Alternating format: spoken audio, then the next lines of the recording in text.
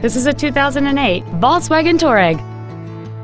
It has a 3.6-liter six-cylinder engine and an automatic transmission.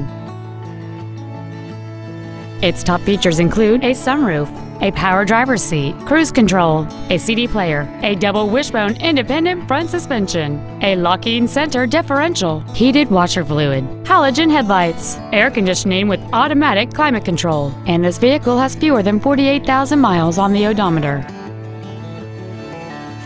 This Volkswagen has had only one owner, and it qualifies for the Carfax buyback guarantee. Call or visit us right now and arrange your test drive today.